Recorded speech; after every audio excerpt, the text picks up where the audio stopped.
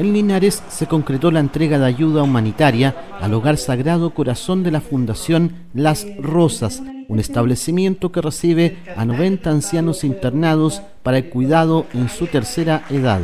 90 residentes que son de la comunidad, son de nuestra comuna, que lo hemos visto en distintas oportunidades, probablemente cuando éramos más chicos, todos eh, vendiendo en la micro, en la calle.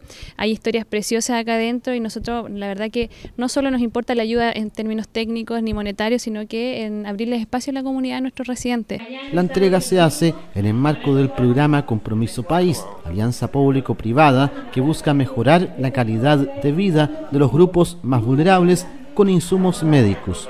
Nosotros desde el gobierno comunal, conjuntamente con el Ministerio de Desarrollo Social, le hemos hecho entrega eh, de dos catres clínicos, de dos veladores, de un burrito eh, y de una silla también para trasladarse, más una serie de pañales.